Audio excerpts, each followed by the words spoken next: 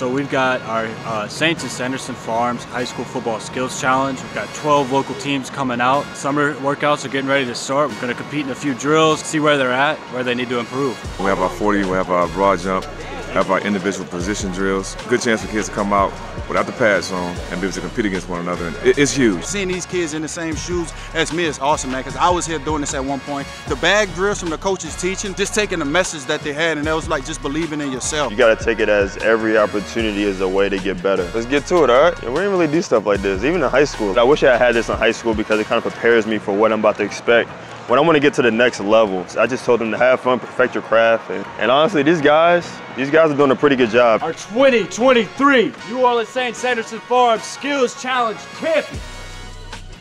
Riverdale High School. I think they learned, and not only from the drills, but from the other uh, players in the competition. I'm excited to be here. You know, it was a great opportunity. They were excited to come. They came out and competed, and they, they took the trophy home.